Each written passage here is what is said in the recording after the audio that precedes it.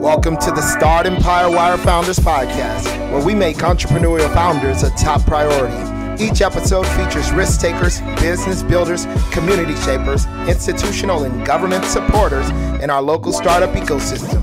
Tune in weekly to hear all about what's happening with the movers and the shakers of Southern California's Inland Empire and beyond. All right, ladies and gentlemen, welcome back to the Founders Podcast. Today we are here with none other than Maritza Gomez. She, as you know, or maybe you don't know, is the person who is over NAWBO Inland Empire. However, she also is the founder of MG Custom Printing. So I want Marissa to go ahead and introduce herself, tell us all about who you are, give us your introduction.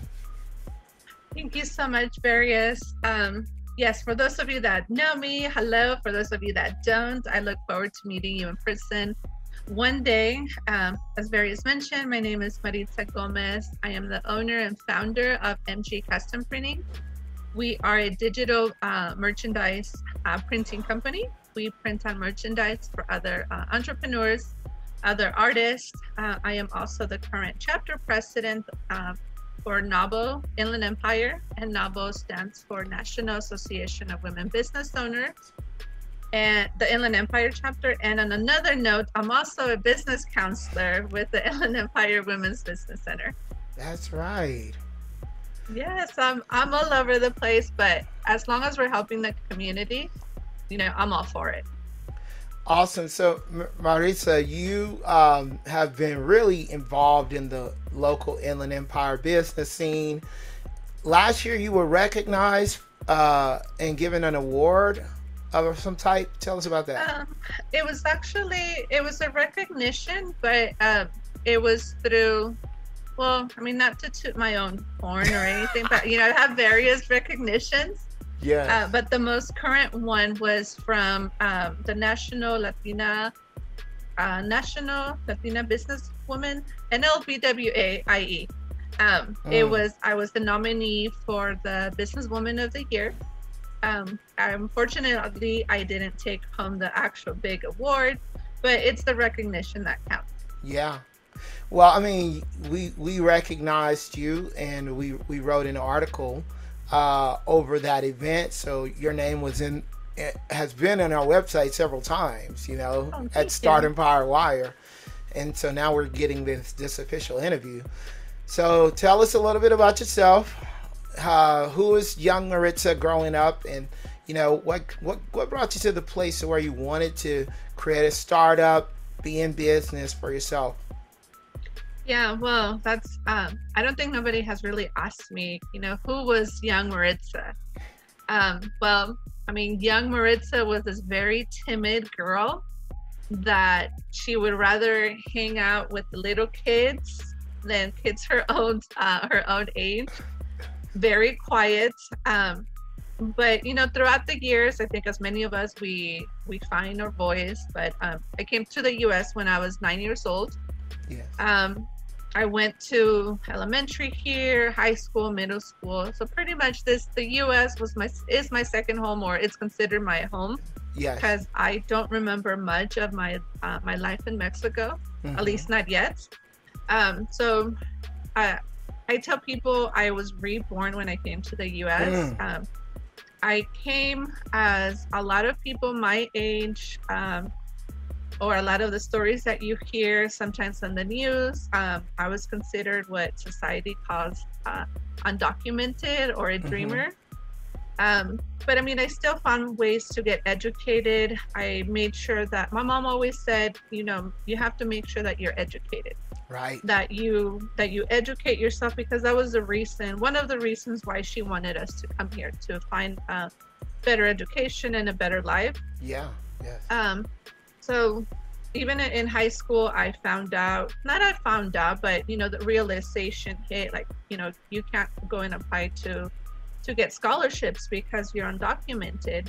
Mm-hmm. But I still, um, I've always found ways. I mean, there's always a way to in everything. Just because right. people say, no, you're you can't. I mean, you have to find your yes people.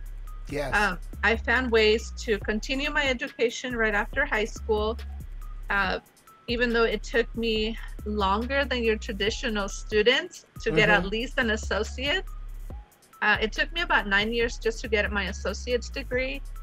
Then, thankfully, be, um, there were some changes in the laws. Thanks to Yes. the California Dream Act, I was able to to go back to school to work on my uh, on my bachelor's degree yeah. and I and I did that. I was able to to get my bachelor's degree in 2016 from Cal State San Bernardino. so um, just a quick time frame. I, I graduated high school in 1999 yeah. and I finished my education in 2016. Hey, you know what? You finished it. A lot of people don't even finish it. Like, yeah. So you finished it. Tenacity. Yeah. Tenacity. Yes, definitely. And all that while being undocumented. Mm. Um, so I mean, the reason I started um, There's no handicap. There's there's no there's no handicap, right? You no, no, no. So if yes, if I was able to start my business, get an education while being undocumented, Hmm. anybody out there, you know, your your current situation shouldn't limit you from what you want to do. You just have Right. to it's not your time yet. You just have to get all of your your um I like to explain it as you're still growing, but you're growing your roots. hmm So when it's time, it's your time to blossom. You're gonna start growing upwards, and instead of saying, "Well, I could have, I should wait," or "It's not the right time," go and get that. You know, attend that networking event, get Mm. attend that workshop. You know, you're going at your own pace. It's okay to be a late bloomer.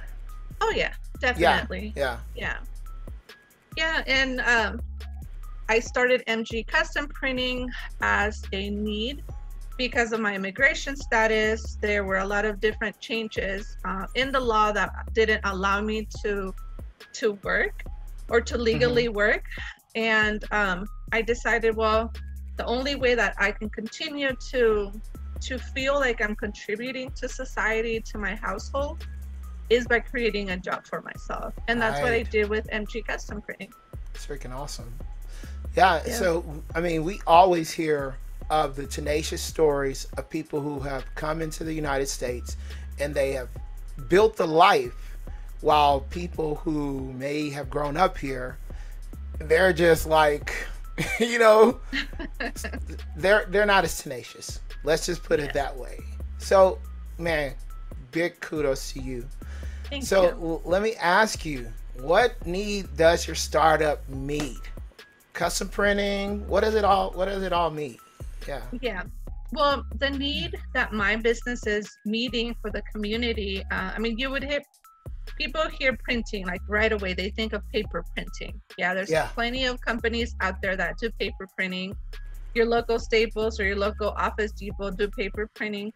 But the printing that we do is on merchandise. So we're Mm. printing, we're printing on merchandise that can be used for promotional purposes Yes. but also for everyday use um, Okay. as souvenirs. Um, so I am uh, I'm helping. Our mission is to contribute to the growth of entrepreneurs and creators by providing digital printing solutions with with low minimums. Okay. So I allow other businesses if they have uh, a design that they really want to put on a mug on merch to sell, uh, or on on uh, graphic designers or on artists, uh, for them to buy a mug from me, turn around and resell it.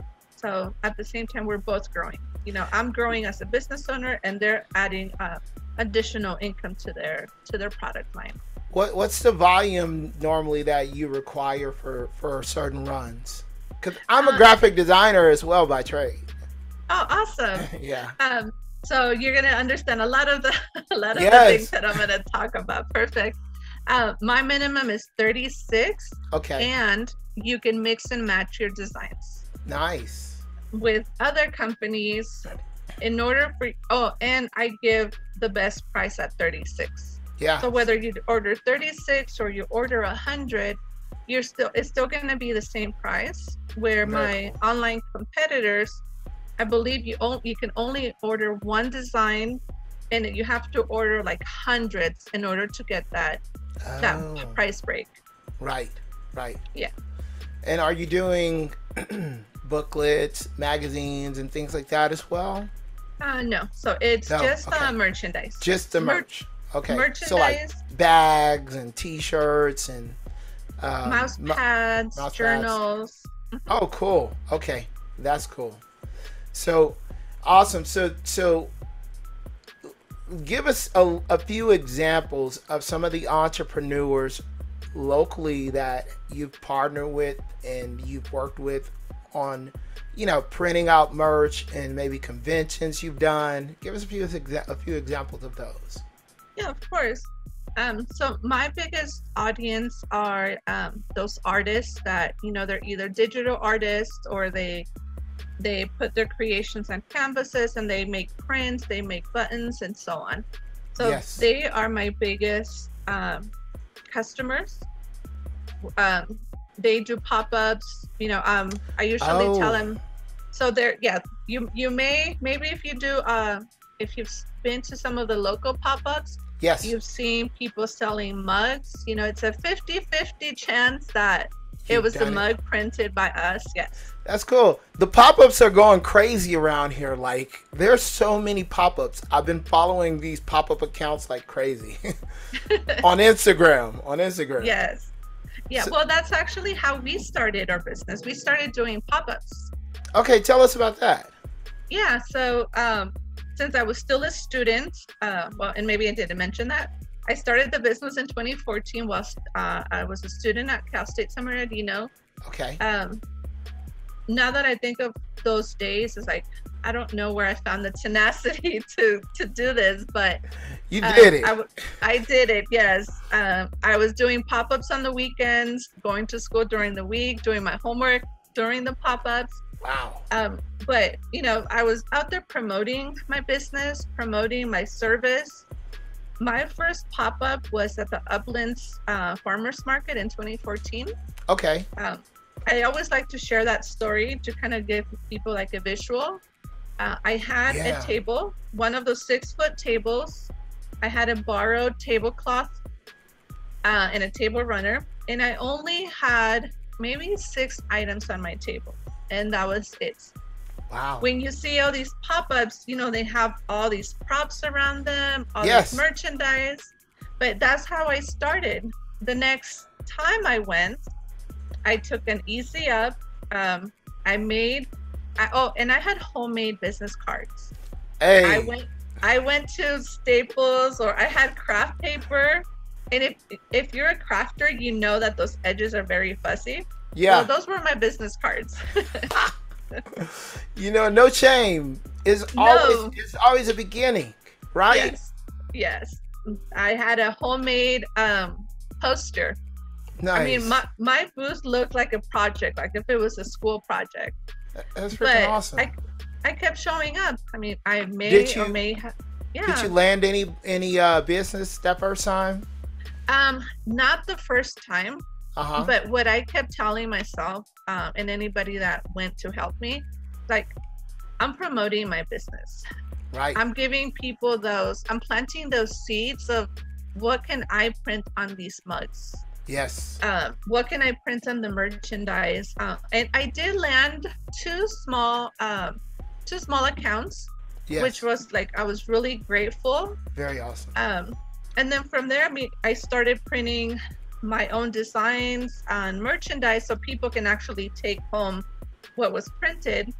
Um, and it actually took maybe about three years for me to actually find my niche or my specific target market for my retail side because I do retail and I do wholesale. Okay. Uh, and and who is the niche for the wholesale? Who is the target market for the retail? So for wholesale is those um, business owners or creators that uh, that want to have their own designs printed on merchandise for them to turn around and resell. Yes. Um, and then on my retail is uh, the Latino community. Nice. I have uh, Spanglish uh, designs or Spanglish sayings printed on mugs. Oh, that's on cool. toads. Um, yeah, because I mean, we are the fastest, uh, one of the fastest growing demographics. Yeah. And and at that time, these bigger chains weren't targeting us. So Mm. if I mean you you can I'm pretty sure now you can you can go to a big store and find something in Spanish. I mean, in hopes that it's made by a, cre- uh, uh, a Right. Hispanic or Latino uh, creator, Mhm. but um, you know you really can't. But you've got you've got a little bit of a corner on the market there mm-hmm. too. Yeah, that's really Yes. good. Yeah.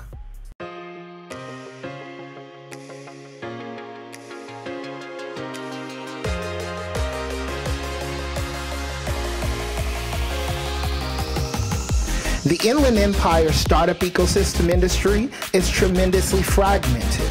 A few top tier hubs, San Francisco, Los Angeles, and San Diego, are well covered by media, events, and data platforms. Finding reliable information relevant to startups or the tech industry in the Inland Empire is extremely difficult. As a result, startups can't scale fast enough. Investors are having a hard time finding the right deals, and corporates can't find the right companies to partner with for their innovation activities. Startempire Wire, the leading Inland Empire startup publication, is providing the Inland Empire startup ecosystem with the most accurate, engaging business and financial data, events, and news.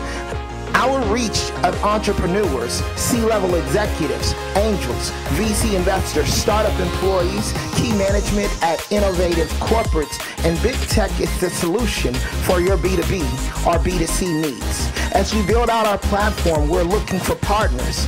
This is your opportunity to get in on the ground level.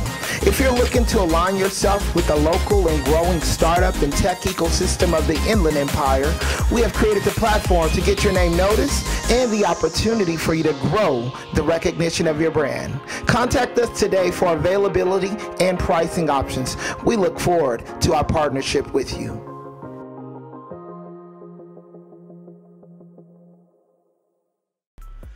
That's very awesome. Okay, so Yeah. you are doing wholesale, you're doing retail. Now tell us about the growth of, you know, you know, from the beginning. I know you already touched a little bit of to where you are now, you know. So you're being recognized, you're you know, give us that background.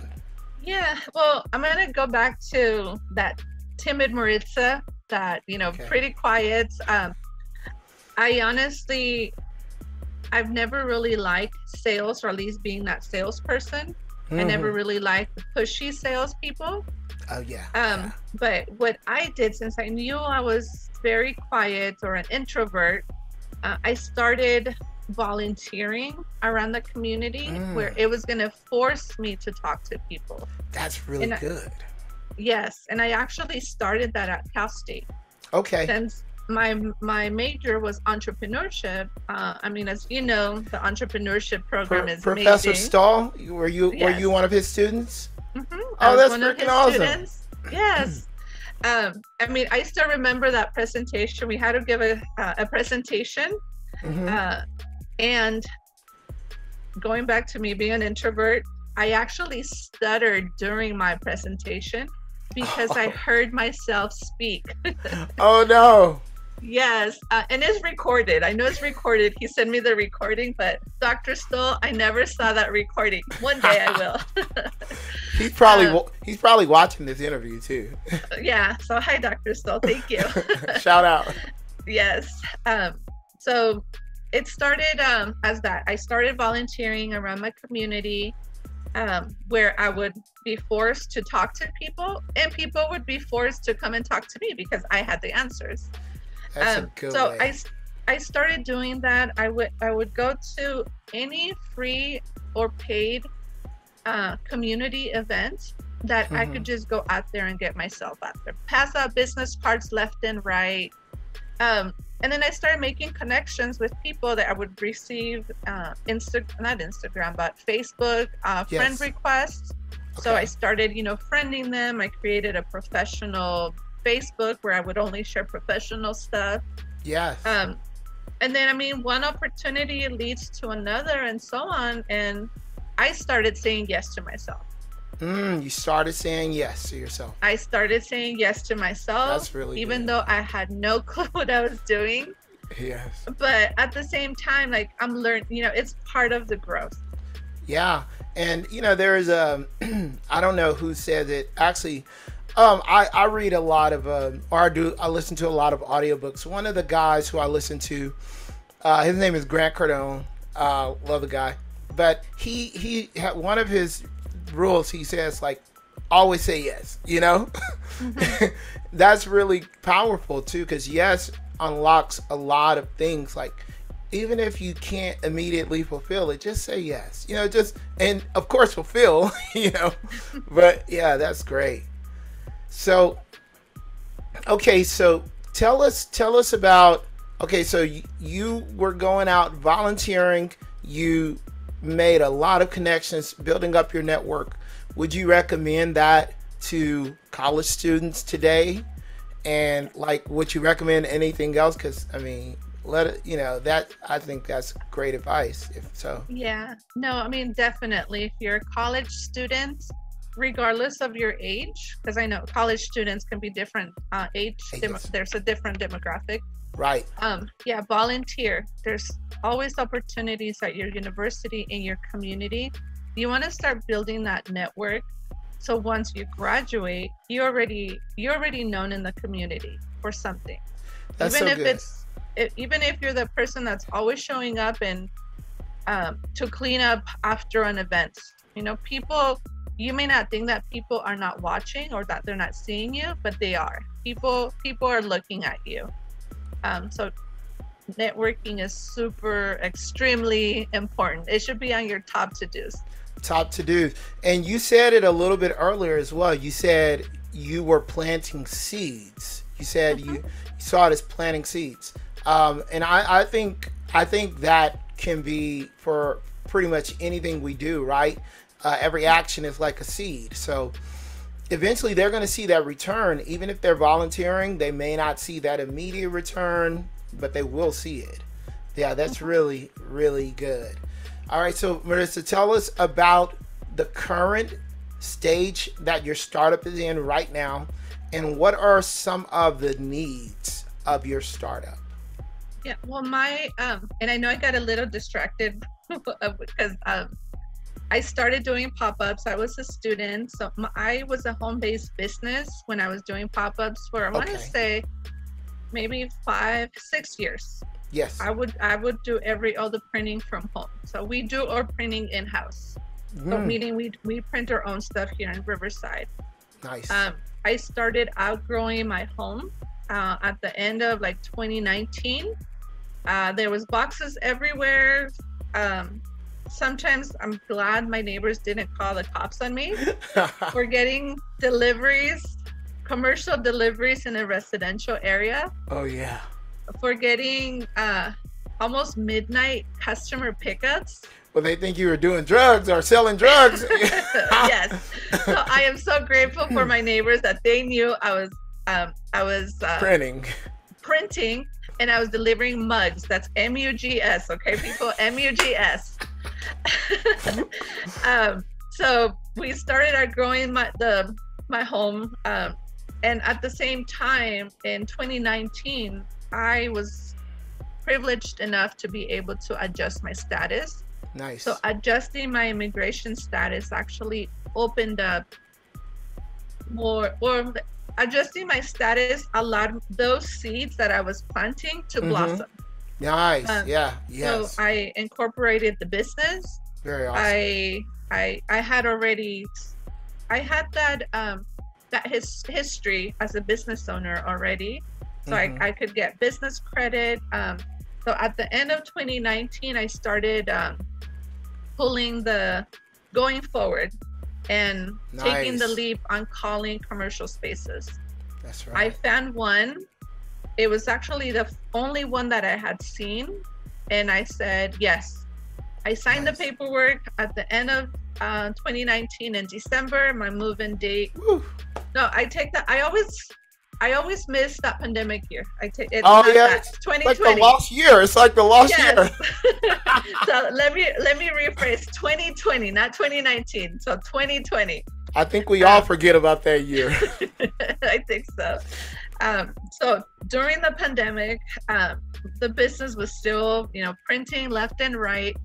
Um, I signed the, my lease documents in December, November, December. So my nice. move-in date was going to be um, February 2021. Okay.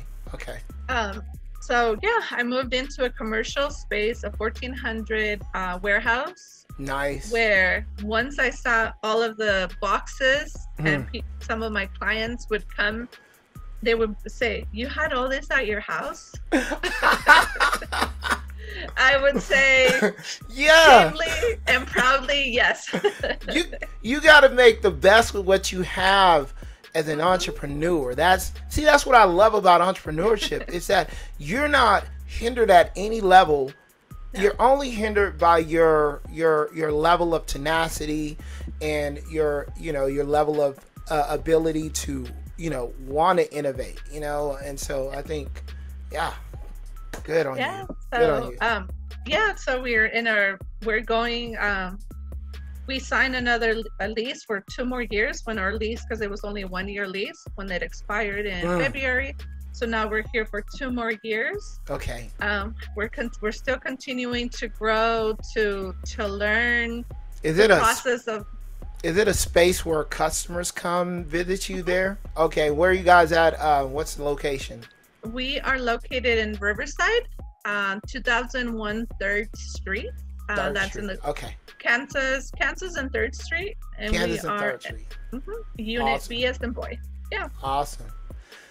That's super awesome. Okay, and at this point, you've moved into the building. You you know you just got a new printer. Uh, yes. Yeah. Okay. What is so, that? Is that a large format? What is it? What is it? It is. It's okay. It's what I like to call a big girl printer. nice. um, I say that because with sublimation, the other process that I use it's still small format. So okay. I mean, I was able to run it from home. Nice. Uh, but now I have a, a, UV printer. Oh, cool. So I'm able to print uh, on more items, foam boards, on wood, metal, wow, uh, glass, uh, and it's a flat printer though. Uh, okay. But okay. you know, on on tumblers, so it it opens up the possibilities a little bit more for me and then for my clients as well. Um, mm. But I mean, yeah, it's it's so like signage. Printer. Signage, you'll be able to print um, signage and stuff like that, or, or, that's a that's a different printer. Different so I'm printer. able to okay. do the foam the foam boards because it's a foam flat boards. printer. Okay. It's it doesn't have a roller. Right. So like those yard signs that you see, you know, oh where, yes, you know, like real estate signs. Mm-hmm. Yes. Oh, that's cool the real estate signs, like the foam boards that people would give, get sometimes printed for uh, to recognize somebody at an award ceremony. Yeah. Um, yeah, things like that. So I'm able to do it for for both those people that need that marketing material, but for somebody that wants to print their own design and then resell it as merchandise. Oh, that's very cool. Mm-hmm. That's very cool. All right, so now what are the current needs now that you you know you got your new printer and all that what are the current needs that you can foresee or that that you have uh, for your startup the current needs, needs, um let me see i really i really wasn't too ready for this question but i'm hoping to my biggest need is uh, i'm hoping to push my retail my retail More. business Okay. More, yes. Uh, as many of you know, and I'm actually going to put in a plug for them, the Cheech, the Chicano Art Center opened yeah. here in downtown Riverside. Right. Um. So I'm, and my items are targeted towards the Latino community. So like, yes. you know, they kind of go together. Um, I I created a postcard, which I did mm-hmm. print. You know, I outsourced the printing. Um, and it's a greeting card, a postcard, excuse me, and it says "Saludos desde Riverside." Okay. So my current need now is more for that Latino, uh, the Latino community, community. that wants something that's personalized, that speaks to them, that mm-hmm. Represents mm-hmm. them. Uh, to give to somebody else here in the community. I mean, nice. I, I don't know if that really answers the question, but no, yeah, yeah, that's that's definitely uh, uh, a great answer. One of the things I want to ask you as well is, um, have you uh, ever met Juan Navarro from Eastside Art House? I haven't. Um, okay. I follow him. I follow the page. I mean, and they're they're the the art house. I yes. live in the East Side neighborhood. So. Okay. Okay. So they're right next. Okay. Yeah. yeah. Uh, I, am gonna connect you guys because I think maybe there could be a connection there for you. I think that'd be really yeah. awesome. Definitely. And I know one of my clients is um, he's an artist there or like a I don't I, I don't know what they call them. Yeah. But he goes in there and creates, you know, his artwork. Well, his own personal art, but he well, I, space. I know the the artists from the art house do pop-ups around mm-hmm. around Riverside. So I mean like that's a possible partnership that you could have for each artist who comes into the art house pop up.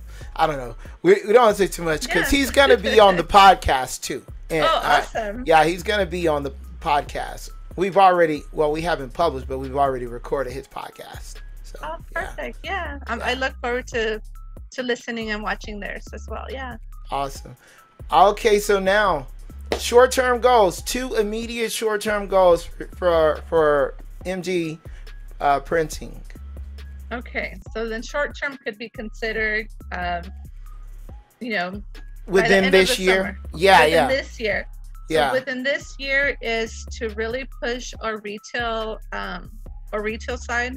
I have an mm-hmm. intern from CSUSB that's helping me during the summer. That's cool. Um, I'm gonna have a um, a marketing short term is to reach those thousand TikTok followers. There we go. We need those. yes. Okay, so you trying to get to a thousand, huh? yes. Yeah, because TikTok is hot. Gonna, yes, it's gonna open up that live feature on TikTok. At least you know who knows if that changes. That's true. You know, what? Why, why not go live on Instagram too?